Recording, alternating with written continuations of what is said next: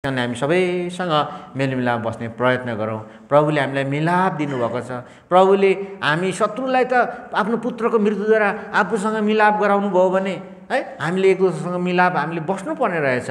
प्रभुको चाहना चाहिँ यो रहेछ। अनि मात्रै पाएको मान्छेको लक्षण चाहिँ के हुन्छ भन्नुहोस् त? एक दोस्रोलाई प्रेम गर्छ। पुड्का पुड्की झन् एकदम फुर्तिलो चाहिँ यसलाई चाहिँ पास यिनीहरू फेल परमेश्वरको विरुद्धमा आज मान्छे चाहिँ आफ्नो सानो मुड्की देखाइरहेको छ? अनि भन्छ मलाई परमेश्वर चाहिँदैन। मलाई परमेश्वर चाहँदैन। एक ठाउँ मैले एकजना मान्छेलाई यसो पर्चा दिएको कि प्रभुको।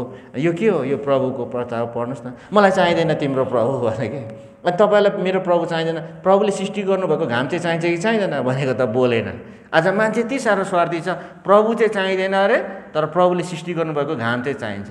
आज मान्छे यति स्वार्थी भएको छ बाउआमा चाहिएन तर बाउआमाले कमाएको धन सम्पत्ति चाहिँ चाहियो हो कि होइन भन्नुहोस् त? आज संसार यस्तै भइरहेको छ। हामी मान्छे यस्तै हौँ। हामीलाई परमेश्वर चाहिएन तर परमेश्वरले सृष्टि गर्नुभएको घाम चाहियो। परमेश्वरले सृष्टि गर्नुभएको अन्न पानी चाहियो। परमेश्वरले सृष्टि गर्नुभएको पानी चाहियो। हेर्नुहोस् त परमेश्वरले सृष्टि गर्नुभएको अक्सिजन चाहियो। एकजना मान्छे अस्पतालमा भर्ना भएछ अनि उसलाई चाहिँ अक्सिजन लाएछ पाँच दिन भर्ना भएर अक्सिजन लाएछ अनि उसलाई त्यो बिल आएछ हस्पिटलको। पाँच दिन अक्सिजन राखेको पच्चिस हजार रुपियाँ बिल आएछ। अनि त्यो बुढो मान्छे त धुरु धुरु रुयो अरे क्या। अनि डक्टरले भन्यो अरे होइन बाजे होइन बुवा तपाईँ किन रुनुभएको? त्यो बिल देखेर तपाईँ रुनुभएको? है? तपाईँसँग पैसा तिर्ने क्षमता छैन भनेर डक्टरले सोद्धाखेरि होइन मसँग पैसा तिर्ने क्षमता छ म पैसा तिर्न सक्छु। आज पाँच दिन तपाईँको हस्पिटलमा बसेँ पाँच दिन मैले अक्सिजन लिएँ। त्यो पाँच दिन अक्सिजन लिए बापत पच्चिस हजार बिल आएछ। म यत्रो नब्बे वर्षको उमेरसम्म परमेश्वरले मलाई सित्तैमा अक्सिजन दिनुभयो। यदि परमेश्वरले पनि मलाईसँग बिल दिनुभएको भए म कहाँबाट तिर्नु? परमेश्वर कति महान हुँदो रहेछ। हेर्नुहोस् त।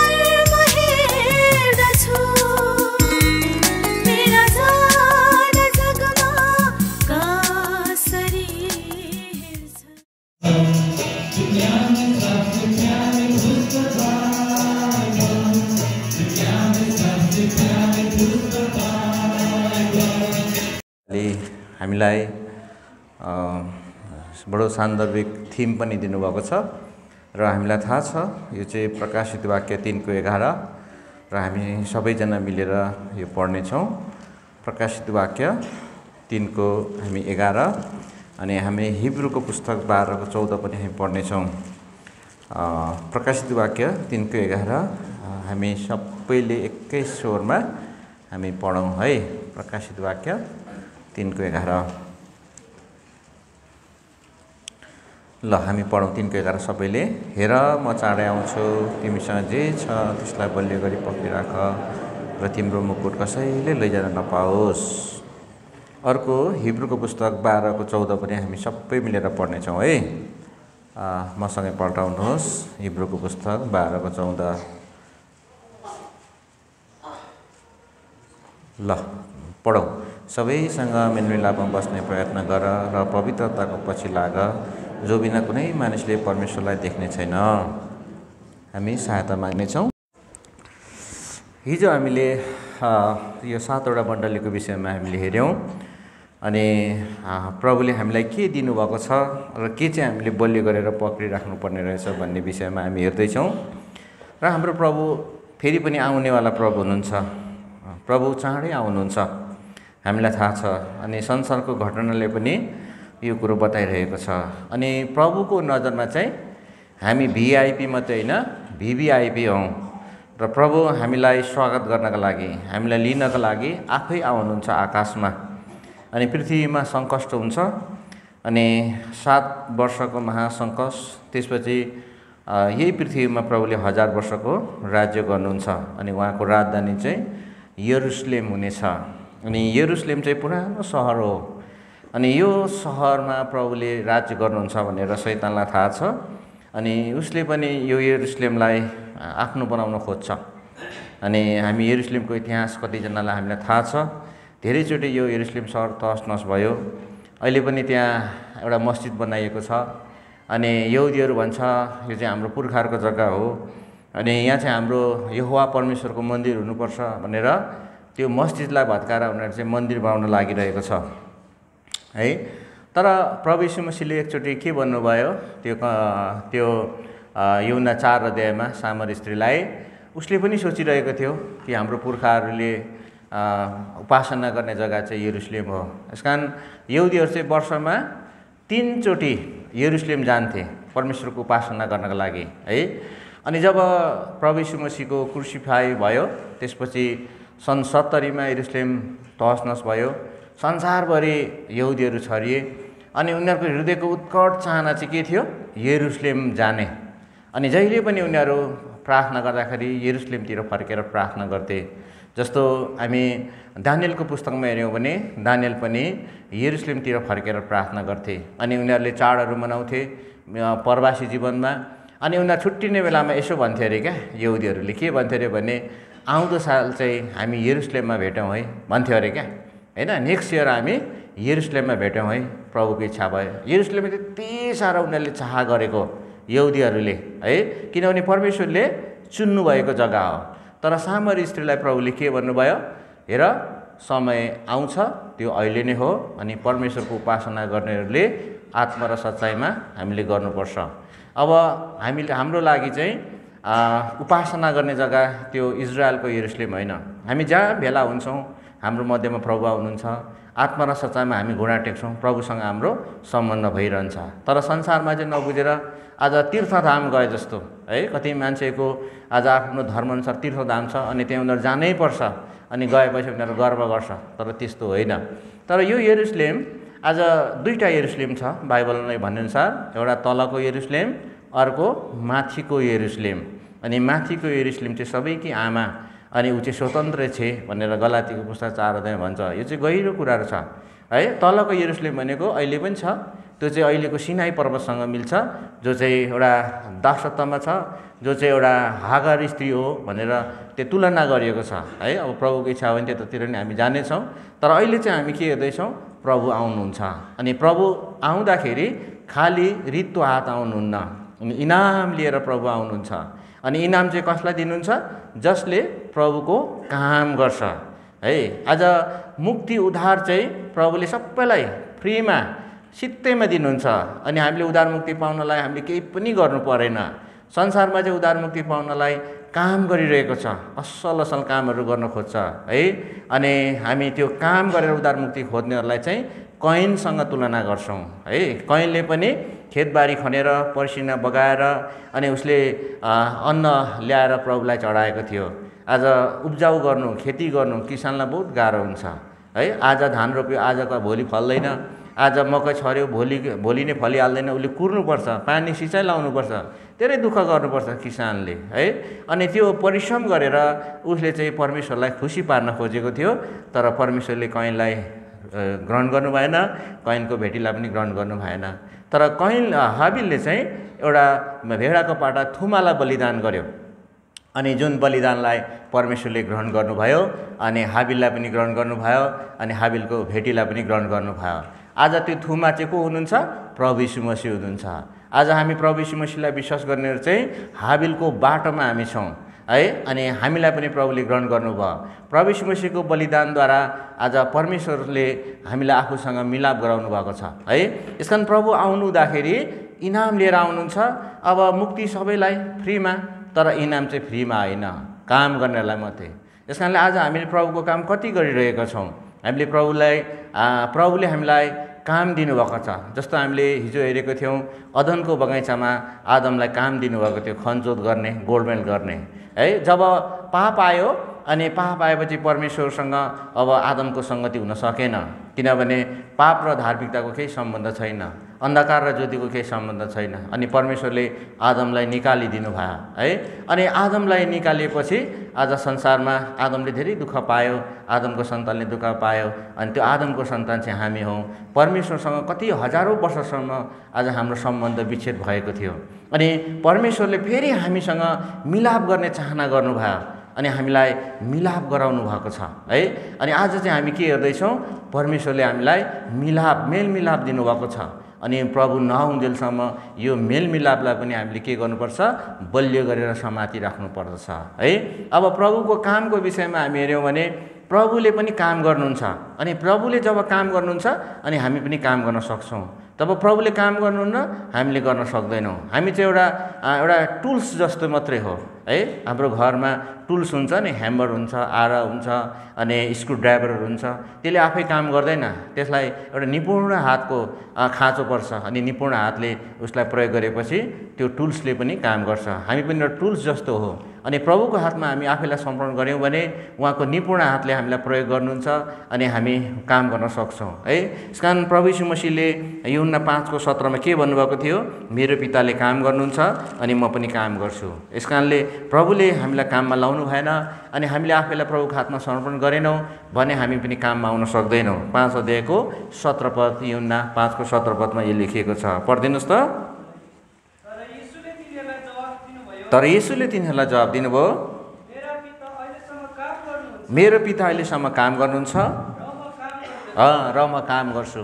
अच्छा अब प्रभुले चाहिँ कस्तो काम गर्नुहुन्छ र हामीलाई कस्तो काम दिनुहुन्छ? आज संसारमा चाहिँ के छ भने अप्ठ्यारो जोखिमको काम अनि शर्म लाग्दो काम घिन लाग्दो काम चाहिँ अरूलाई अनि सजिलो काम चाहिँ मान्छेले के गर्छ?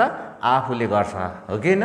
तर प्रभुले चाहिँ के भन्छ? गाह्रो काम चाहिँ आफू गर्नुहुन्छ अनि सजिलो काम चाहिँ हामीलाई दिनुहुन्छ है? अनि काम गरे बापत फेरि इनाम पनि हामीलाई दिनुहुन्छ। म त अचम्म लाग्छ क्या प्रभुको विचार योजना। है? आज प्रभुले हामीलाई सजिलो सजिलो काम दिनुहुन्छ। जस्तो सजिलो काम के हो? है? यो एघार अध्यायमा हामी हेऱ्यौँ भने त्यहाँ लाजस मरेको छ चार दिन भइसकेको छ अनि प्रभु त्यहाँ जानुहुन्छ चिहानमा प्रभुले के भन्नुहुन्छ? त्यो ढुङ्गालाई गुडाइदेऊ भन्नुहुन्छ है? आज हेर्नुहोस् त प्रभुले चाहनुभयो ढुङ्गा गुडी त भने गुड्दैन थियो। गुड्थ्यो तर परमेश्वर प्रभुको कस्तो विचार भन्दा हामीलाई पनि काम दिने अनि त्यो काम बापत इनाम पाओस् भन्ने उहाँको चाहना। है? त्यो ढुङ्गा गुडाउनु सजिलो थियो। अनि ए लाजस बाहिर त्यो चाहिँ के थियो? गाह्रो थियो क्या। आज त्यो चाहिँ मान्छेको बसमा थिएन। मान्छेले त्यो कुरो गर्न सक्दैन थियो। मरेको मान्छेलाई बोरा उठाउनु मान्छेले सक्दैन थियो। त्यो गाह्रो काम चाहिँ प्रभुले गर्नुभयो। लाजस तिमी बाहिर आऊ। त्यो चाहिँ प्रभुले आफ्नो काम गर्नुभयो। अनि बाहिर आयो अनि कात्रो खोलिदेऊ हेर्नुहोस् त। अब मरेको मान्छेलाई बोरो उठाउने प्रभुले त्यो कात्रो खोल्न सक्नुहुन्न थियो सक्नुहुन्थ्यो। तर सजिलो काम चाहिँ के गर्नुभयो? आफ्नो चेलाहरूलाई दिनुभयो। यस कारण आज तपाईँ र मलाई पनि प्रभुले सजिलो काम दिनुहुन्छ है? आदम आदमलाई अदनको बगैँचामा काम दिनुभएको थियो। अब नयाँ करारमा आइकन त्यो अदनको बगैँचा चाहिँ मण्डली हो। है? तपाईँ र मलाई फेरि पनि त्यो अदनको बगैँचा रूपी मण्डलीमा वापस फर्काएर ल्याउनु भएको छ। अनि प्रभुको घरमा हामीलाई गोडमेलको काम देखरेखको काम हामीलाई दिनुभएको छ है? फेरि पनि हामीलाई काममा नियुक्त गर्नुभएको छ। अनि यो काम चाहिँ अन्तसम्म गरिराख्नु पर्ने अरे है? प्रकाशित वाक्य दुई अध्यायको चौबिस पदमा यो कुरो लेखिएको छ। दुई अध्यायको छब्बिस पद रहेछ है? जसले अन्तसम्म यो काम सम्हालिरहेको छ म उसलाई अधिकार दिन्छु भनेर भन्नुभएको छ। ल पढ्नुहोस्। दुईको छब्बिस पद। जसले जय पाउँछ। अन्तसम्म मेरो काम सम्हालिरहेको छ काम चाहिँ के गर्नुपर्ने छ अन्तसम्म नै हामीले गरिराख्नु पर्ने बिचमा छोड्नु हुँदैन रहेछ। हामीले जो एकजना मानिसको विषयमा हेर्दै थियौँ जो चाहिँ वर्णवासको भान्जा हो मर्कुस भन्ने मान्छे मार्क भन्ने मान्छे जो चाहिँ उसको उपनाम युन्ना पनि रहेछ। जसले चाहिँ काम गर्दा गर्दै आधी बाटोमा आधी काम छोडेर गएको रहेछ है? अनि प्रभुको दासहरूले होइन यो भाइलाई काम नदिने उसले बिचमा छोडेर गएको छ है? विश्वास योग्य भएन भनेको रहेछ। तर पछि फेरि ऊ काम लाग्दो भएर प्रभुको दासहरूले फेरि उसलाई काममा नियुक्त दिएको रहेछ। अनि प्रभुको दासहरूको विवेक कति असल है? आज हामी भएको भए एकचोटि रिजेक्ट गरेपछि सधैँभरि रिजेक्ट। उसले यस्तो उसले उहिले पहिले उसले यस्तो गरेको थियो भनेर त्यही कुरालाई लिएर हामी न्याय गरिबस्छौँ होला। तर फेरि काम लाग्दो हुँदो रहेछ मान्छे है? अनिसिमुसलाई पनि हेऱ्यौँ कुनै समय काम नलाग्दो मान्छे थियो। अनि अनिसिमुस फेरि काम लाग्दो भएको रहेछ क्या? अनि फेरि उसलाई पनि काममा लाग लगाएको रहेछ। आज प्रभुको घरमा पनि कति जवानहरू कति जवानहरू काम नलाग्दो हुन सक्ला तर दुई चार दिन पर्खेर हेर्नुपर्छ। फेरि उसलाई काममा हामीले नियुक्त गर्नुपर्ने रहेछ है?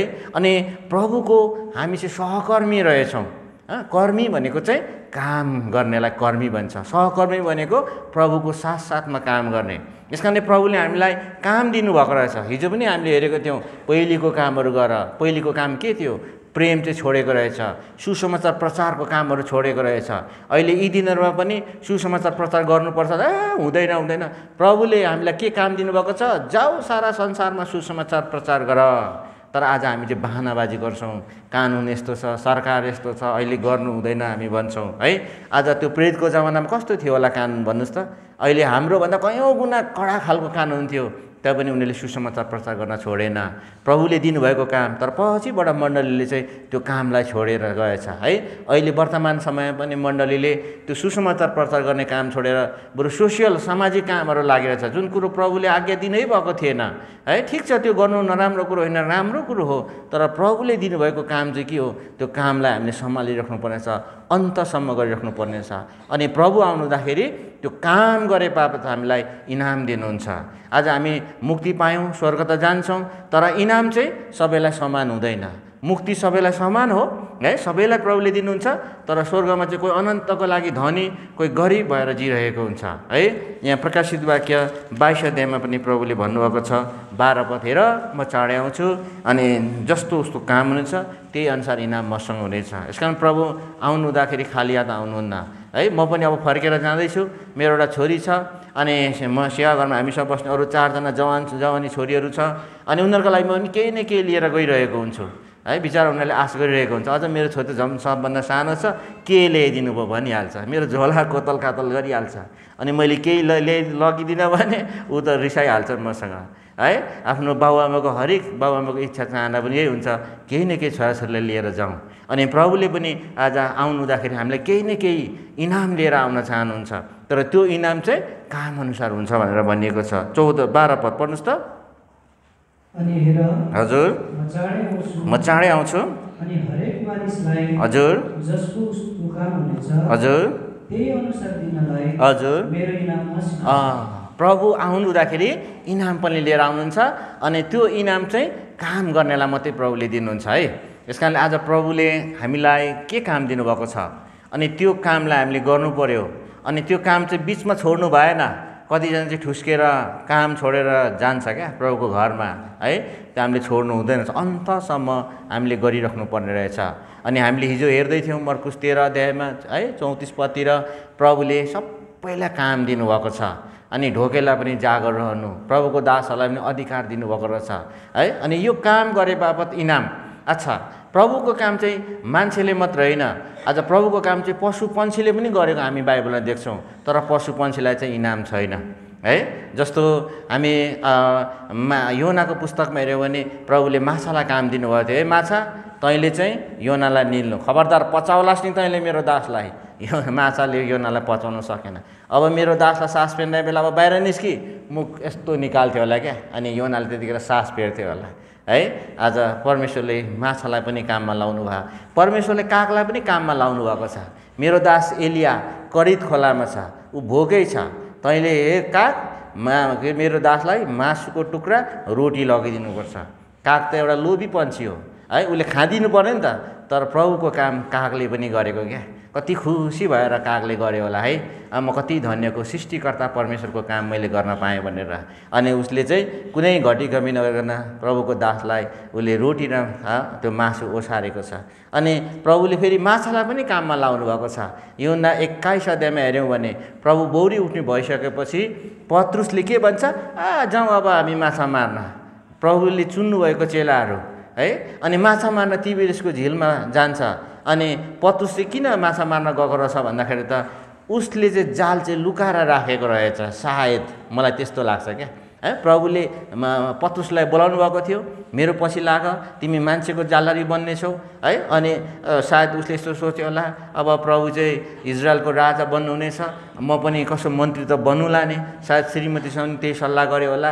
अनि प्रभु कतै यीशु चाहिँ राजा बनिहालेन। हाम्रो इच्छा पुरा भएन भने फेरि माछा मार्ने हाम्रो पुरानो पेसा त छँदैछ नि भनेर त्यो माछालाई उसले लुका जाललाई उसले बाँकासम्म मजाले पट्याएर धोएर सुकाएर राखेको थियो होला क्या। तर प्रभु जब बौरी उठ्नु भएपछि त फेरि पत्रुस त ब्याक्सलट भयो। अनि ऊ मात्रै ब्याक्सलट भएन अरूलाई पनि जाउँ माछा मार्न। अब यो तरिकाले हुँदैन। हामी त के सोचेको थियौँ? है? हाम्रो प्रभु त राजा बन्नुहुन्छ। हामी पनि मन्त्री बनाउला भनेर सोचेको थियौँ। भएन। अब जाउँ माछा मार्न। अनि तिबेरिसको झिलमा माछा मार्न जान्छ। त प्रभु त्यहाँ भिजिट दिन आउनुहुन्छ पत्रुसलाई है? अनि त्यहाँ जाल हान भन्नुहुन्छ। अनि एक सय त्रिपन्नवटा माछा पर्छ। त्यो माछालाई पनि प्रभुले आज्ञा दिनुभएको थियो। माछा मेरो चेलाले कुरो बुझेन तैँले सबक सिकाउनु। गएर त्यो पत्रुसको जालमा पर। माछाहरू त रमाउँदै आयो होला क्या? परमेश्वरको काम गर्नको लागि। अनि परमेश्वरले फेरि भन्नु होला तिमीहरू सानो सानो माछाहरू होइनौ तिमीहरू उता जाऊ। है मजौले पनि होइन ठुल्ठुलो मात्रै आऊ। एक सय त्रिपन्न मात्रै आऊ। अनि त्यो एक सय त्रिपन्नवटा माछा चाहिँ रमाउँदै रमाउँदै आएर त्यो पत्रुसको जालमा पऱ्यो अनि तिनीहरूलाई थाहा थियो माछालाई म मर्नुपर्छ भनेर तर परमेश्वरको काम गर्नलाई उनीहरू खुसी हुँदै आयो होला सायद। किनभने परमेश्वरको आज्ञा परमेश्वरको काम सबैले गर्छ। तर मान्छेलाई मात्रै यस्तो आज अप्सन दिनुभएको छ तिमीले मेरो काम गर्नै पर्छ भन्ने मान्छेलाई बाध्यता छैन। र गर गरे बापत तिमीले इनाम पाउनेछौ गरेन भने तिमीले इनाम पाउँदैनौ।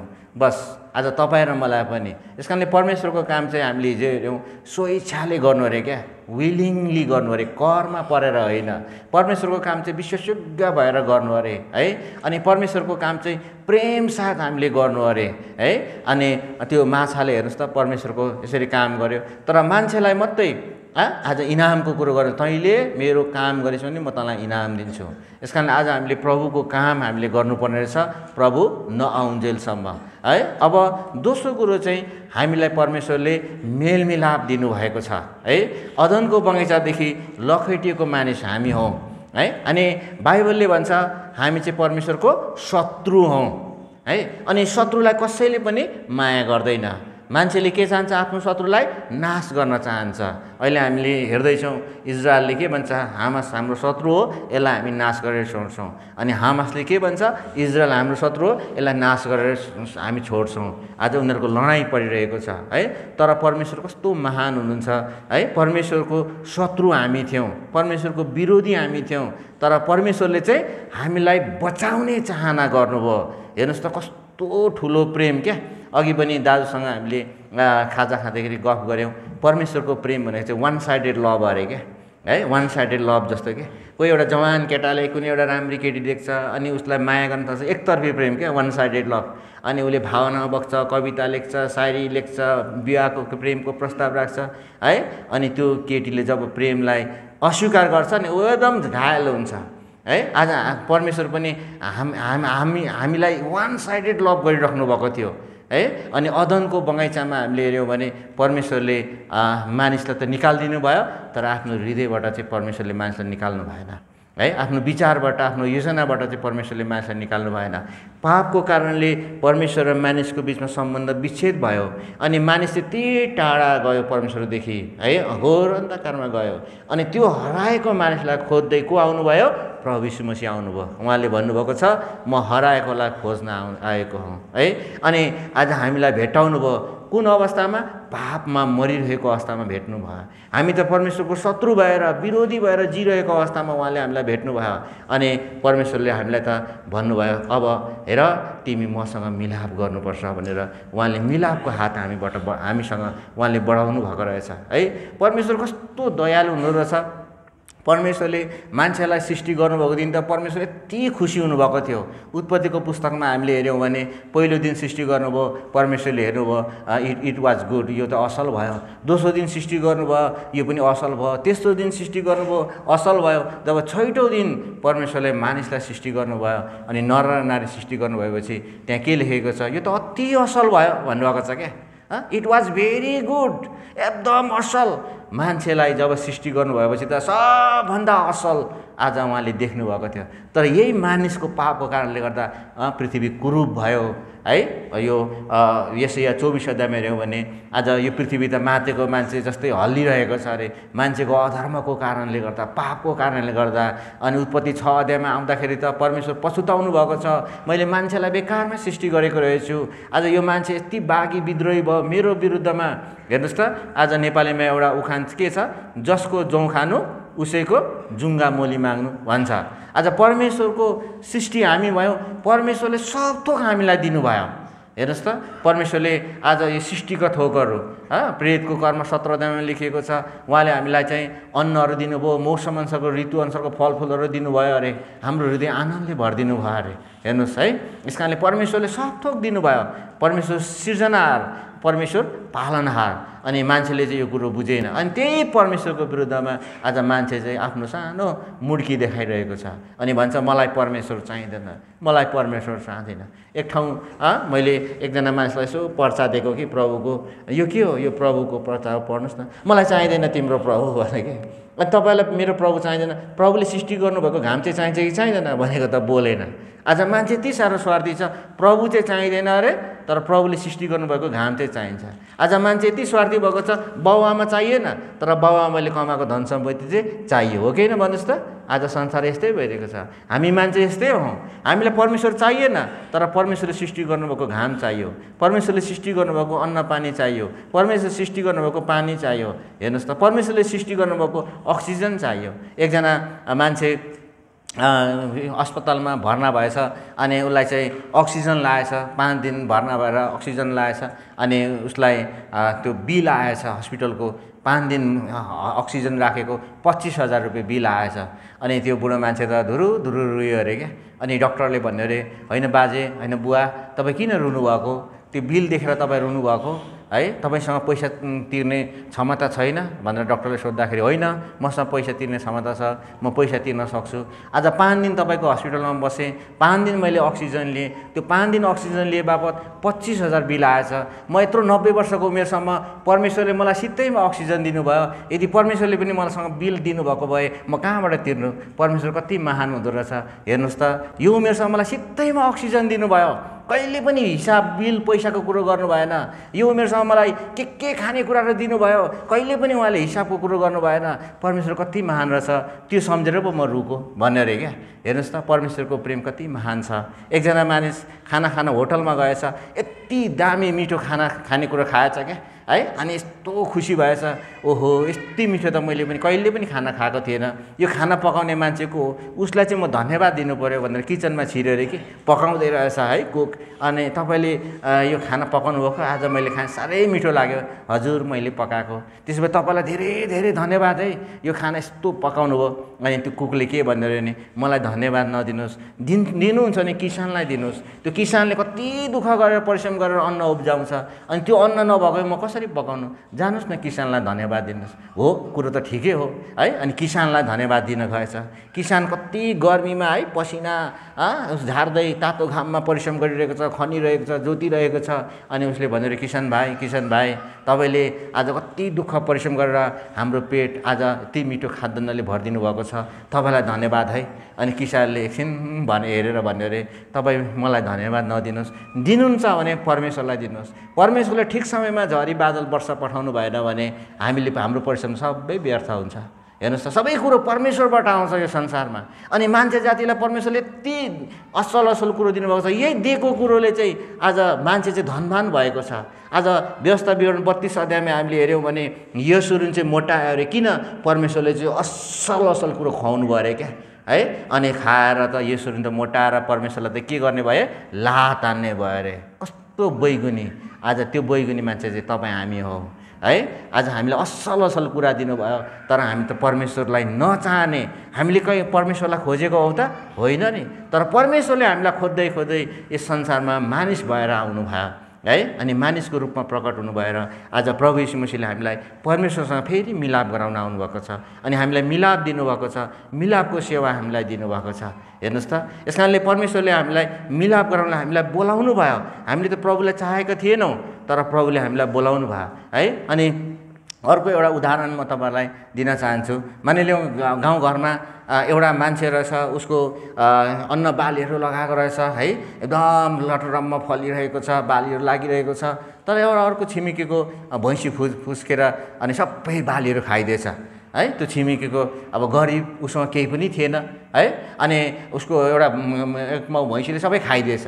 अब के होला? त्यो बालीको धनी कति रिसाउँछ होला? अब उनीहरूको झगडा पर्ने भयो उनीहरूको दुश्मनी हुने भयो। मेरो बाली है बिस मन फल्ने थियो। तिम्रो भैँसीले सबै खायो तिर तिमीले। त्यो गरिबले कहाँबाट ल्याएर तिर्नु? है अनि त्यो गरिब उल्टै बौठिन्छ अरे। तिम्रो बारीमा तिमीले बार हाल्नु पर्थ्यो। तिम्रै गल्ती हो। भनेर उल्टै रिसाएर झगडा गर्छ अरे। त्यस्तो पनि हुनसक्छ नि त है छरछिमेकमा बस्दाखेरि होइन? तर त्यो बालीको धनीले यसो भन्यो अरे क्या। "हुँ, हेर भाइ तिम्रो भैँसी फुस्केर मेरो सबै बाली नोक्सान गरेको रहेछ केही छैन। हामी छिमेकी हौँ झगडा नगरौँ। आऊ हामी तिमी र म मिलौँ भनेर मिल्ने प्रस्ताव राख्यो अरे क्या। तर त्यो भैँसी धनी त उल्टै बौठिन्छ अरे म मिल्दैन कि मिल्दैन तिम्रै गल्ती छ भन्छ अरे। कस्तो दुष्ट है त्यो भैँसी धनी। आज त्यो दुष्ट चाहिँ तपाईँ र म हौँ। परमेश्वरले सब थोक हामीलाई दिनुभयो है। हामीले पाप गरेर परमेश्वरले यति ठुलो नोक्सानी भयो उहाँको सृष्टिमा। है? त्यो नोक्सानीलाई भरपाई गर्नका लागि प्रभु क्रुसमा मर्नु परेको हो है? अनि उहाँले रगत बगाएर अनि जो आज हामीले नोक्सानी ल्याएको त्यो नोक्सानीलाई चाहिँ प्रभु यीशुको रगतले पुर्ताल गरेर परमेश्वरसँग हामीलाई मिलाप गराउनु भयो। है? यो कुरो रोमीको पुस्तक पाँच अध्यायमा यो कुरो लेखिएको छ। आउनुहोस् त रोमीको पुस्तक पाँच अध्याय हामी शत्रु हुँदाहुँदै उहाँ हाम्रो लागि मर्नुभयो अनि परमेश्वरसँग हामीलाई मिलाप गराउनु भएको छ। भन्छ पहिले पाँच अध्यायको हामी एक पदलाई हामी पढ्नेछौँ। रोमीको पुस्तक पाँच अध्यायको एक पद। विश्वासद्वारा हजुर। हजुर। हेर्नुहोस् त परमेश्वरसँग के भएछ? हाम्रो मिलाप। कसरी मिलाप भयो? हामी धर्मी ठन्यौँ। परमेश्वर धर्मी हुनुहुन्छ हामी अधर्मी। मिलाप त हुने कुरै भएन। परमेश्वर ज्योति हुनुहुन्छ हामी अन्धकार ज्योति र अन्धकारको मिलाप हुनै भएन। तर पहिलो कुरो हाम्रो पाप अर्पणलाई मेटाउनु भयो प्रभु यीशुले। रगतले है प्रायश्चित गरिदिएर हामीलाई धर्मी ठाउनु भयो अनि परमेश्वरसँग हाम्रो मिलाप भयो। अनि यहाँ तल सात पदमा लेखिएको छ धर्मी मानिसको लागि मुस्किलले कोही मर्ला। असल मानिसको निम्ति सायद कसैले मर्ने आँट गर्ला कि तर परमेश्वरले हामीतर्फ आफ्नो प्रेम यसैमा प्रकट गर्नुहुन्छ। हामी पापी हुँदाहुँदै ख्रिस हाम्रा निम्ति मर्नुभयो। यसकारण अब उस उहाँको रगतद्वारा धर्मी ठरिएका हुनाले झन पर्ता गरी हामी उहाँको क्रोधबाट बचाइनेछौँ। किनकि शत्रु हुँदाखेरि उहाँको पुत्रको मृत्युद्वारा परमेश्वरसित हाम्रो मिलाप भएको छ। हेर्नुहोस् त? हामी परमेश्वरको शत्रु। अब परमेश्वरले नै हामीलाई ए मनुवा ए मान्ने जाति आऊ न हौ म तिमीसँग मिल्न चाहन्छु। परमेश्वरको केही गल्ती छैन। गल्ती त हाम्रो छ हाम्रो छ पाप हाम्रो छ अपराध हामीले नोक्सानी ल्याइरहेको छौँ। तर परमेश्वरले नि आऊ न हौ तिमी र म हामी मिलौँ। बा परमेश्वरको कस्तो प्रेम क्या? आज त्यो प्रेम चाहिँ यदि हामीमा छ भने आज कोही भाइ कोही बहिनी आज हाम्रो शत्रु भइरहेको छ बौठेर हिँडिरहेको छ भने गल्ती उसैको छ। अनि हामीले भाइ आउनुहोस् न हौ हामी मिलौँ। यो चाहिँ परमेश्वरको प्रेम हो क्या? तर हामी चाहिँ कस्तो भने गल्ती उसको छ ऊ पो झुकेर आउनुपर्छ त भन्छ ठिकै हो कुरो त। त्यो चाहिँ मानवीय दृष्टिले त्यो कुरो ठिक हो। तर परमेश्वरले चाहिँ के गर्नुभयो? गल्ती हाम्रो हुँदाहुँदै पनि उहाँ आफै सानो भएर उहाँ आफै झुकेर दासको रूप धारण गरेर पर प्रभु यीशुमा भइकन हामीलाई मिलाप गराउनु भयो भन्छ। दोस्रो कुरोन्ती हामी पाँच अध्यायमा यो कुरो देख्छौँ। है यस कारणले हामीलाई मेलमिलाप दिनुभएको छ। अनि प्रभु नहुन्जेलसम्म यो मेलमिलापलाई चाहिँ हामीले बलियो गरी हामीले पक्रिराख्नु परेको छ। पाँच अध्यायको हामी पढ्ने रहेछौँ। अठार पद। अनि सबै कुराहरू हजुर। जसले यीशु ख्रिस्टद्वारा हजुर। आफूसँग मिलाप गराउनु भएको छ हजुर।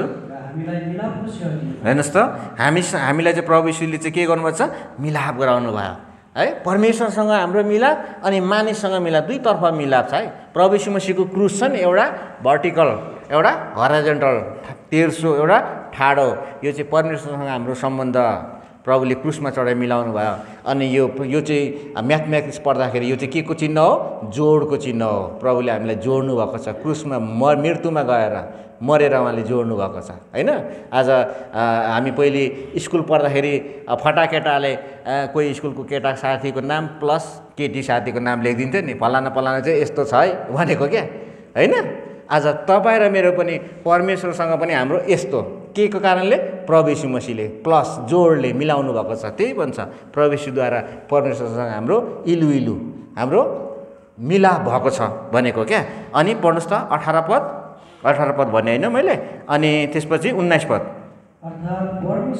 हजुर। हजुर।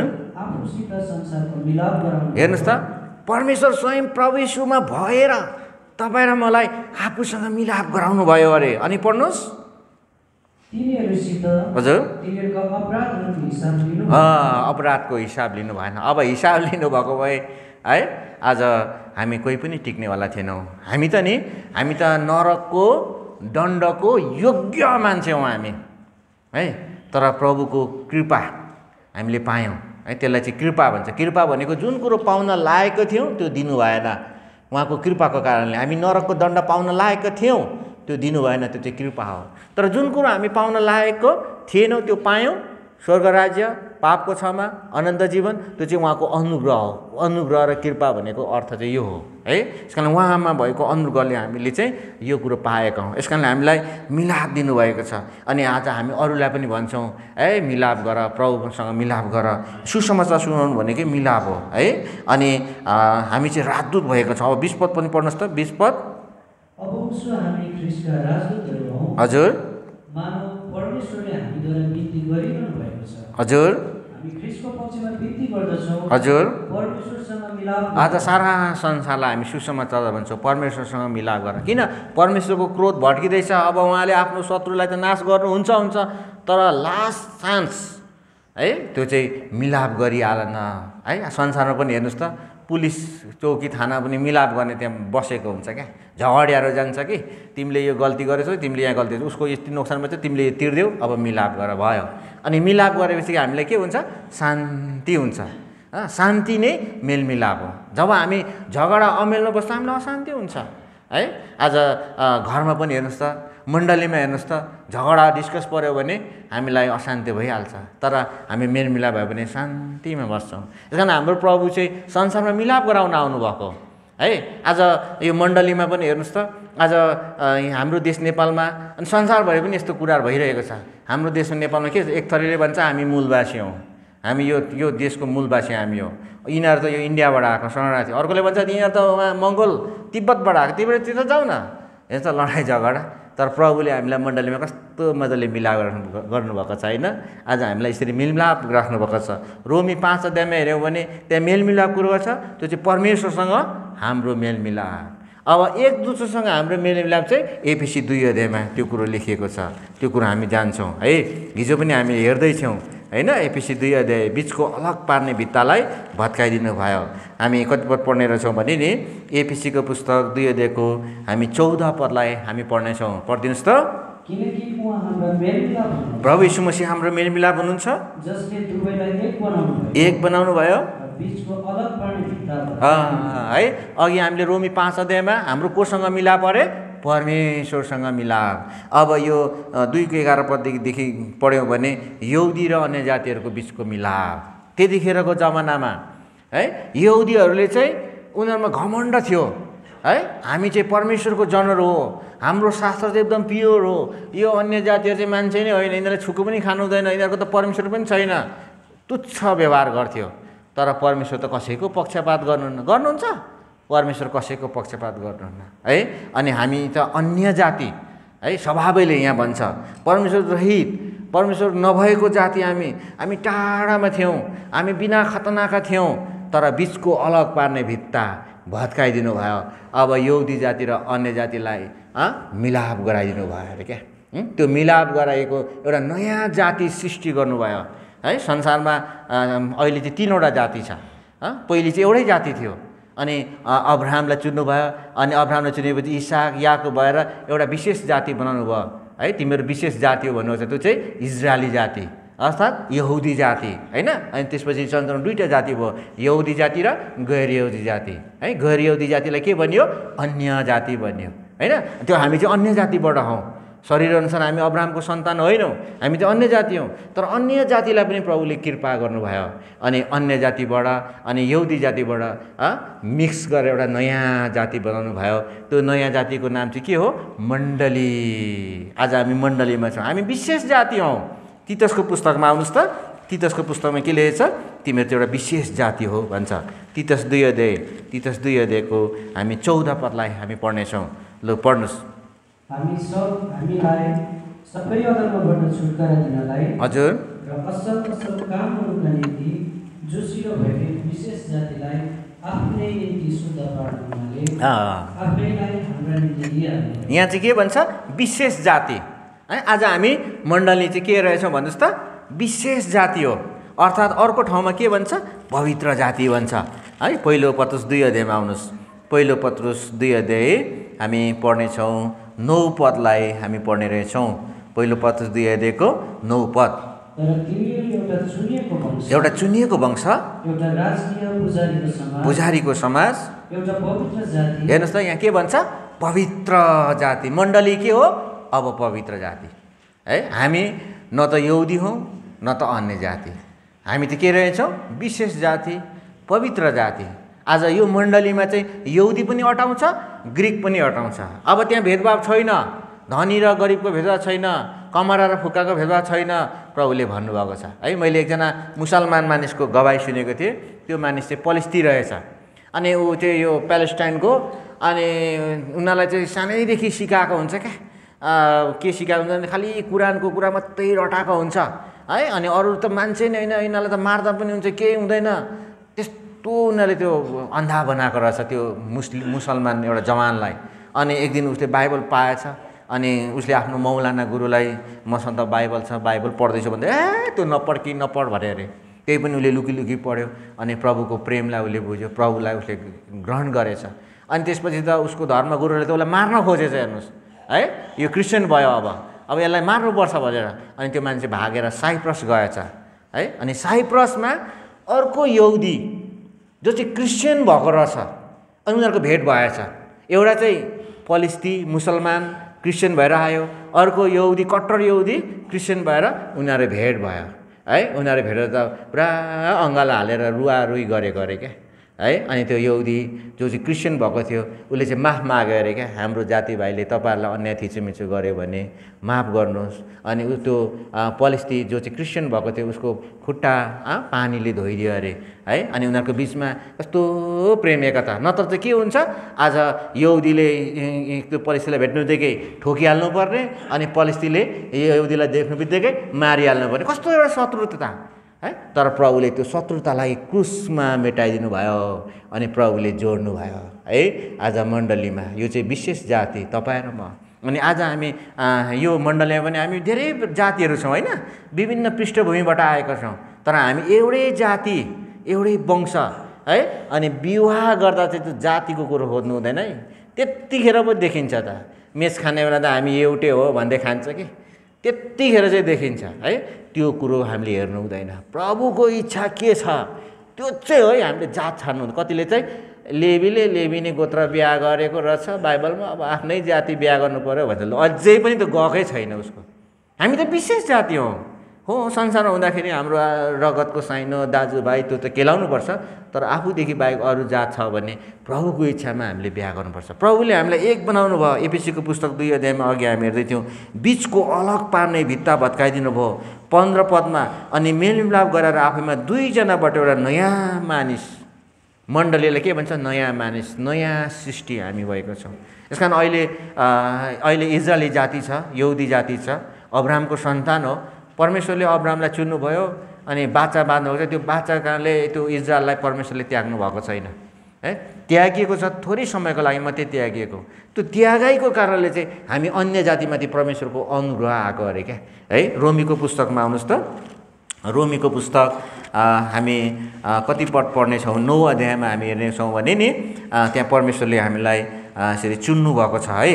हामीलाई कतिमा भने चौबिस पदमा हामी पढ्नेछौँ। लु पढ्नुहोस् त चौबिस पद। हजुर।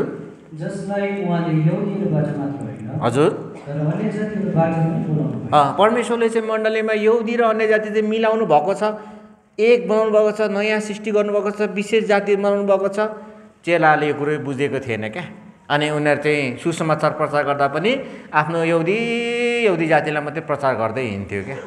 तर एक दिन चाहिँ प्रेतको कर्म दस अध्यायमा है त्यो कर्नेलियस भन्ने मान्छेले एउटा दर्शन देख्छ है के अरे उसले त्यो पत्रुसलाई बोलाउनु पठाउँछ अनि पत्रुस चाहिँ जोप्पामा हुन्छ उसले चाहिँ एउटा चद्दरमा सबै प्रकारको पशुहरू है मारेर खाऊ पत्रुस भन्दा होइन मैले त अशुद्ध खान्न म होइन तिमी अशुद्ध नभन्न परमेश्वरले जसलाई शुद्ध पार्नुहुन्छ तिमी किन अशुद्ध भन्छौ?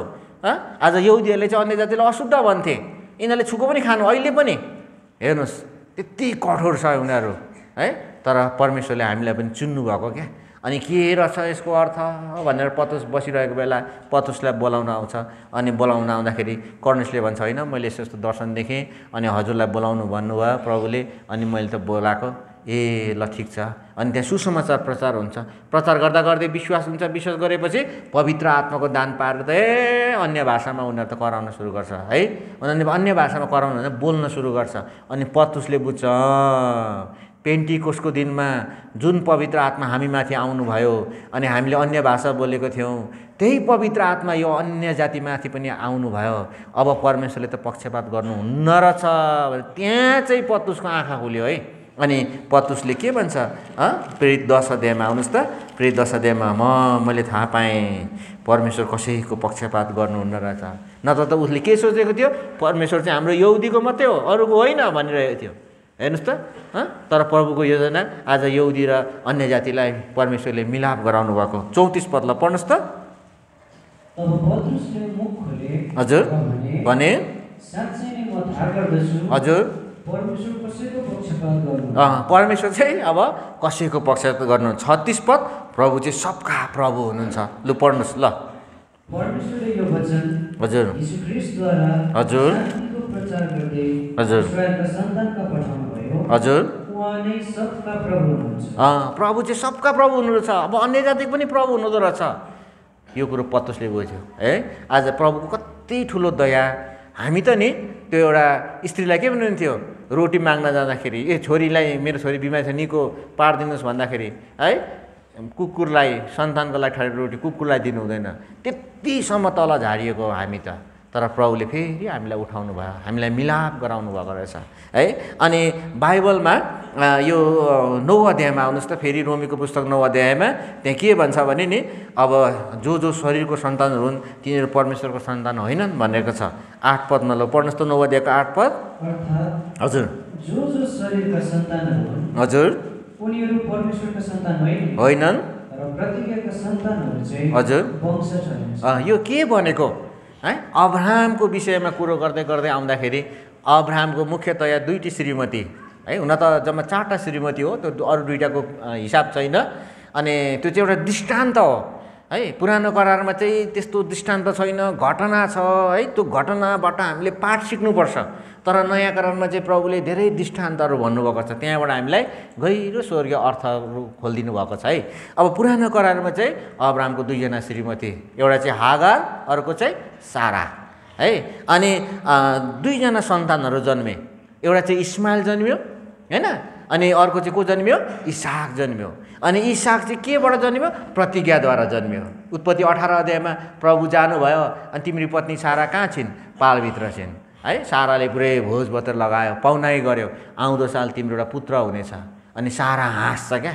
पालभित्र मुसुक्क हाँस्छ। किन हाँसेको भन्दाखेरि कसरी हुन्छ? म त वृद्ध भइसकेँ। मेरो कुक त अब बाँझो भइसक्यो। छोरी मान्छेको त्यो रजस्वला बन्द भइसक्यो। अब हुँदैन। त्यो पनि प्रभुको प्रतिज्ञा छ आउने साल तिम्रो छोरा हुनेछ। अनि त्यो सम्झिँदाखेरि त हाँस्छ क्या। अनि साराले पछि त छोरा जन्माउँछ। इसाक इसाकको अर्थ हुन्छ हाँसो। इसाकको अर्थ के अरे? हाँसो। है बाउआमाको अनुहारमा खुसी ल्याउने हुनुपर्छ। हामी छोरा जवान इसाकहरू चाहिँ। है? आज इसाकको अर्थ चाहिँ त्यो हो है? अनि नभन्दै अर्को साल त इसाक पो जन्मियो त तर इस्माइल चाहिँ प्रतिज्ञाद्वारा जन्मेको होइन अब्रामकै सन्तान हो। तर उसको शरीरको बलद्वारा जन्मिएको हो है? इस्माइल चाहिँ। है? अनि इस्माइल चाहिँ पुरै ढिप्पी गरेर मेरो लागि छोरा जन्माइदियो कि छोरा जन्माइदियो साराले ल नि त अब ठिकै छ। त्यतिखेरको जमानै त्यस्तै थियो। दासीलाई पनि आफ्नो श्रीमती बनाएर आफ्नो सन्तान बनाउने त्यतिखेर चलनै त्यस्तै थियो। अनि त्यही अनुसार जन्मियो इस्माइल जन्मियो। इस्माइल पहिले जन्मेको इसाक जन्मेको पहिले इस्माइल जन्मियो। त्यो चाहिँ शरीर हो। तर इसाक चाहिँ आत्मा हो। यस शरीर र आत्माको जहिले पनि झगडा हुन्छ भनेको चाहिँ त्यही हो। इस्माइलले जहिले पनि दुःख दिन्थ्यो इसाकलाई। होइन साराले भन्थे यो यो यो दास स्त्रीको छोराले मेरो छोरालाई दुःख दिइरहेको छ यसलाई निकालिदिनुहोस्। है आज शरीर हो त्यो चाहिँ इस्माइल भनेको त्यो हामीसँगै छ इस्माइल हामीलाई दुःख दिइबस्छ है हामीसँग छ त्यो आत्मा त्यो चाहिँ इसाक हो। यस कारणले त्यो त्यो त्यसको अर्थ चाहिँ त्यो हो। अब यहाँ चाहिँ के भन्न खोजेको भने प्रतिज्ञाको सन्तान चाहिँ खास सन्तान हो भनेको क्या। शरीरबाट जन्मेकै हो इस्माइल तर ऊ प्रतिज्ञाबाट जन्मेको होइन। अर्थात् अहिलेको जमानामा हेर्ने हो भने यहुदीहरू तिनीहरू शरीरको सन्तान भयो है? तर प्रतिज्ञाबाट जन्मेको होइन। प्रतिज्ञा चाहिँ हामीबाट प्रतिज्ञा प्रभुले मण्डलीसँग गर्नुभएको छ। अनि हामी चाहिँ प्रतिज्ञाको सन्तान हो। हामी त कहाँ कहाँको अन्य जाति परमेश्वर रहित मूर्ति पूजक पापमा डुबेको मरेको मान्छे तर प्रभुको प्रतिज्ञा हामीमाथि क्या? हामीले प्रभु यीशु मसीहलाई विश्वास गरेपछि त ए अब्रामसँग गरेको प्रतिज्ञा त हाम्रो पो भएको रहेछ। अनि हामी त आत्मिक सन्तान पो भएको रहेछौँ। त्यो कुरो हो है? अघि हामीले हामीले कति पद पढ्यौँ? आठ पद पढ्यौँ होइन? अब नौ पदमा के भन्छ? किनकि प्रतिज्ञाको यो वचन छ समय यो समयमा आउनेछु साराको एउटा छोरा हुनेछ है? अनि त्यो प्रतिज्ञाको सन्तान चाहिँ इसाक हो? अनि इसाकपट्टि चाहिँ परमेश्वरको प्रतिज्ञा रहँदै गयो है? अनि यस कारणले दुईवटा आमाको कुरो गरेको छ। यो चाहिँ गलातीको पुस्तकमा लेखेको छ है? अब त्यहाँ दुईवटा आमाको कुरो अलिकति त्यो पनि हामी हेरौँ। गलातीको पुस्तक हामी एक्काइस पद चारको एक्काइस पददेखि दृष्टान्त हागर र सारा भनेको छ। है? त्यहाँ दुईटी आमा दुईटी छोरा। एउटी चाहिँ दासीबाट जन्मिएको अर्को चाहिँ स्वतन्त्रबाट जन्मिएको है? अनि त्यो दासी आमालाई चाहिँ सिनाई पर्वतसँग तुलना गरिएको छ क्या? है? त्यो कहाँनिर लेखेको छ भने नि पच्चिस पदमा रहेछ। किनकि यो हागर चाहिँ अरबमा भएको सिनाई पर्वत हो भन्छ। सिनाई पर्वत चाहिँ के हो? के के को लागि त्यो फेमस हो भन्नुहोस् त। त्यहाँ व्यवस्था दिएको थियो। है? सिनाई पर्वतमा के दिएको थियो? व्यवस्था दिएको थियो। कानुन दिएको थियो। अनि व्यवस्थालाई पालन गर्नेहरू कहिले पनि स्वतन्त्र होइन। त्यो फुक त्यो बन्धनमा छ। त्यो चाहिँ त्यो हागार हो। है? त्यसको सन्तान व्यवस्थालाई मान्ने जति सबै व्यवस्थाको बन्धनमा छ। अहिलेको यहुदीहरू व्यवस्था मान्छ कि प्रवेशी मसीको अनुग्रहमा आएको छ भन्नुहोस् त। व्यवस्थामा छ। तिनीहरू त हागारको सन्तान ठहरिएको छ। है? तर तपाईँ र म जब प्रभुलाई विश्वास गऱ्यौँ हामी त व्यवस्थाबाट मुक्त। है? हामी त इसाकपट्टिको भयौँ क्या आत्मिकी रूपमा त्यो भन्न खोजेको है? अनि सिनाई पर्वत हो आजकलको यरुसलेमसँग मिल्छ। अहिलेको यरुसलेम इजरायलको राजधानी। तेल अभिभ हो तर पनि त्यहाँ राजधानी चाहिँ त्यहाँ बनाउने भन्दैछ। अनि अहिलेको यरुसलेम चाहिँ त्यतिखेरको सिनाई पर्वत अर्थात् हागार हो। अनि अहिलेको यरुसलेमलाई त्यहाँ एकदम पुज्ने भत्ने है बलिदान चढाउने यौदीहरू पनि त्यहीपट्टि गए। तर तपाईँ र म त आत्मिक इजरायली है हामीलाई त्यो यरुसलेम चाहिएन। हामी त माथिको यरुसलेमबाट गाइडेड भएर चल्ने हो। त्यस कारण माथिको यरुसलेम सबैकै आमा भनेको चाहिँ त्यो हो। तर यो वचनलाई भङ्गाएर यरुसलेम मातामा कोरियामा आएको छ। फेरि अर्को शिक्षा। नबुझेर के के भनेको माथिको यरुसलेम माथिको यरुसलेम भने तलको चाहिँ के हो? तलको त इजरायलमा छ। त्यो चाहिँ के रहेछ? बन्धनमा रहेछ। किन बन्धन? त्यो त व्यवस्था रहेछ। व्यवस्थामा उनीहरू श्रापित। त्यो त कैदमा बन्धनमा छ। हामी चाहिँ फुक्का स्वतन्त्र। है? आज हामी अन्य जाति। हामीले यस्तो कुरो केही थाहा थिएन। हामीले त्यस्तो कुरो खोजी पनि गरेको थिएनौँ भन्छ। हामीले नखोजेको कुरो पायौँ नेपालीमा चाहिँ एउटा उखान के छ? ढुङ्गा खोज्दा देउता मिल्यो। हामीले त खोजेकै होइन अरे क्या। हामी अन्य जाति त नि। हामी त जाँड रक्सी एका त्यो भूत प्रेत अनेकका पितृ मरेको आत्मालाई पुजेर हराइरहेको मान्छे प्रभु पो हामी कहाँ आउनुभयो। हामीलाई खोज्दै आउन हो। हामीसँग मसँग मिलाप गरौँ। प्रभुले हामीलाई बोलाउनु भएको। है आउनुहोस् त यो रोमीको पुस्तक नवोदयको हामी तिस पदमा हामी यो कुरो पढ्नेछौँ। तिस पद। अब हामी के भनौँ त? हजुर। हजुर। हेर्नुहोस् त हामी त धार्मिकताको पछि नलाग्ने मान्छे हौ। तर यौदी त रात दिन उनीहरूले चाड मनाएर खतना गरेर है सबै तो तो तोरा भन्छ नि सबै एक एक कण्ठ गरेर पालन गर्दैछ। त्यही पनि उनीहरू धर्मी भएकै छैन। अनि धर्मी नभएको कारणले परमेश्वरसँग मिलाप भएकै छैन उनीहरूको। तर हामी त धार्मिकताको पछि नलाग्ने मान्छे। प्रभु यीशु मसीहलाई के विश्वास गरेको थियो हामी त धर्मी भयौँ परमेश्वरमा हामी मिलाप। हामी त यौदीभन्दा एडभान्स अगाडि पो भइसकेको रहेछ आत्मिकै तौरमा है? अनि हामी त धार्मिकता हामी के अरे पछि नलाग्ने मान्छे। पछि नलागेको धार्मिकता अचम्मै भयो क्या। है? चिठा परे जस्तो। अनि मेरो बाबालाई मैले सोधेँ कि तपाईँ कसरी भर्ती लाग्नुभयो बुवा? भने के। अनि कहानी गर्नुभयो उहाँ चाहिँ इन्डियामा भर्ती लागेर जानुभयो। अनि म बुवाले भन्नुभएको उहाँ चाहिँ दुःख पाउनुभयो। अनि गरिब टुरा भारी बोक्नुपर्ने। अनि सुन्तलाको भारी बोकेर फतेपुरमा झर्नुभएको अरे क्या अनि त्यो सुन्तला बेचेर फेरि नुन बोकेर फर्किनुपर्ने। गाउँको सबै आफन्तहरूसँग टोली बाँधेर कति छ सात दिन हिँडेर आउनुभएको अरे। त्यतिखेर भर्ती खुलेको थिएँ रहेछ। मेरो बुवा चाहिँ म भर्ती लाग्छु भनेर एकदम एक्सर्साइज कसरत गरेर कता छ गल्लावाल भन्दै खोज्दै हिँड्नुभएको रहेछ। नुन बोक्न आउनुभएको बिचरा। अनि भर्ती खुलेको बेला पाहाडबाट चाहिँ भर्ती लाग्ने केटाहरू आउँछ बाटो ढुकेर गल्लावाल बसेको रहेछ। गुरुङको भर्ती खुलेको अरे। अनि गल्लावाले ए केटा त गुरुङ हो? हजुर म गुरुङ हो। हिँड भर्ती खुलेको छ। भनेर कि? अनि बुवालाई त छक्क है। अनि मामा के गरौँ भर्ती? लाग्न भन्दैछ। जाउँ। भान्जा तिम्रो भाग्य छ भने लाग्छ। लु जाऊ जाऊ भन्नु अरे क्या बुवाको मामाले। अनि हामी चाहिँ नुन बोकेर फर्किन्छौँ। तिम्रो यो ढाकर साकर यतै दोकानेर राख्न देऊ लागेन भने पछि नुन बोकेर आउनु। लागेछ भने झन् राम्रो। अनि जानुभएछ लखनऊ। अनि त्यहाँ त एक सय केटाहरू छ अरे। हाम्रो बुवा मेरो बुवा म जस्तै होचे होचे। अनि दुई फ्याक बनाएर एउटा चाहिँ ह्यान्डसम ह्यान्डसम अल्गो अल्गो केटाहरू यतापट्टि मेरो बाउ जस्तो पुड्का पुड्की चाहिँ एकापट्टि। अनि मेरो बाउलाई सबैलाई फेल गराइदियो अरे क्या। अनि ठुलो अफसर आयो अरे अनि अफसर यो के भयो? यिनीहरूले के गरेको यो साहब यो पुड्का पुड्की यिनीहरूलाई फेल यो अल गरेर चाहिँ पास। साहबले के अरे यो पुड्का पुड्की झन् एकदम फुर्तिलो चाहिँ यसलाई चाहिँ पास यिनीहरू फेल भनिदियो अरे क्या। अनि हेर्नुहोस् त मेरो बाउ यसरी म भर्ती लागेको भन्नुहुन्थ्यो क्या। मेरो बाउले कहिले पनि भर्ती लाग्छु म पैसा कमाउँछु विदेश जान्छु कहिले पनि नसोचेको तर अब भर्ती लाग्नु भयो है अनि दुई चार पैसा कमाउनु भयो होइन? त्यस्तै तपाईँ र म पनि हामीले परमेश्वरलाई खोजी नगर्ने जाति हामी है? हामी त परमेश्वरको शत्रु भएर पो जिरहेका थियौँ। अब प्रभुले त हामीलाई त आगोमा हामीलाई नाश गर्नुपर्ने थियो तर प्रभुले हामीलाई उल्टै आऊ हामी मिलाप गरौँ है? तिमीले जो नोक्सानी गरेको छौ मेरो पुत्रले जो क्रुसमा रगतको दाम तिर्दिसक्नु भएछ केवल त्यसलाई विश्वास गर न। है? अनि हामीले विश्वास गऱ्यौँ हाम्रो चाहिँ के भएछ? परमेश्वरसँग मिलाप भएको रहेछ। बुझ्नुभयो? अब यो मेलमिलापलाई हामीले चाहिँ थामिराख्नु पऱ्यो है? प्रभु नआउन्जेलसम्म। हेर म चाँडै आउँछु तिमीसँग जे छ बलियो गरी पक्रिराख। हामीलाई के दिनुभएको रहेछ? हिजो हामीले हेर्दैथ्यौँ काम दिनुभएको रहेछ। कामलाई पनि पक्रिराख्नु पऱ्यो आज चाहिँ हामीले हेर्दैछौँ मेलमिलाप दिनुभएको रहेछ। परमेश्वरसँग हाम्रो मेलमिलाप हुनु पऱ्यो अनि हाम्रो एका दोस्रोसँग पनि हाम्रो के हुनु पऱ्यो मेलमिलाप हुनु। मान्छेले के भन्छ? ए परमेश्वरसँग मेलमिलाप छ अर्छ जेसुकै होस् होइन। आज हामी एक दोस्रोसँग नि हामी मेलमिलापमा बस्नुपर्ने रहेछ। यदि हामी मेलमिलापमा बसेको छैनौँ भने हिब्रू बाह्रको चौधले के भन्छ? परमेश्वरलाई देख्दैन है देख्दैन भन्छ। हो कि होइन भन्नुहोस् त परमेश्वर आउनुहुन्छ हामी छोडिन्छौँ मेलमिलापमा छैन भने। कुरो त त्यही हो। है? पवित्रता र मेलमिलाप। अब पवित्रताको विषयमा हामी हेरेको होइन मेलमिलापको विषयमा।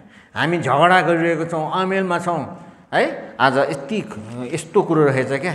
यो युन्नाको पत्रीमा आउनुहोस् त पछाडिबाट आउनुहोस् त। युन्नाको पत्री तिन अध्यायमा तिन अध्यायको हामी कति पढ्ने रहेछौँ भने नि चौध पदलाई ल चौध पदलाई पढ्नुहोस् त। हामी जान्दछौँ। हामी चाहिँ मृत्युबाट जीवनमा सरेका छौँ। अब जीवनमा सरेको मान्छेको चालामाला कस्तो हुन्छ? अर्थात् मुक्ति उद्धार पाएको मान्छेको चालामाला कस्तो हुन्छ? लु पढ्नुहोस् त हजुर। है उद्धार मुक्ति पाएको मान्छेको लक्षण चाहिँ के हुन्छ भन्नुहोस् त? एक दोस्रोलाई प्रेम गर्छ। अघिको हेर्नुहोस् त त्यो पलिस्थी उसले यौदीलाई प्रेम गर्न सुरु ए अङ्गालो मारेर उनीहरू रुको अरे क्या है? उनीहरू एक भएको क्या? प्रभुले मिलाप गराउनु भयो। हेर्नुहोस् त आज तपाईँ र मलाई पनि मिलाप गराउनु भएको छ।